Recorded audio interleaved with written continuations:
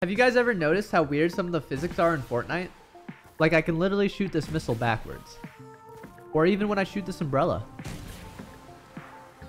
I don't think you have any idea how fast I really am. I'm fastest. And this book is acting like it's straight from Harry Potter. It literally just flipped through the ground. I'm out of here.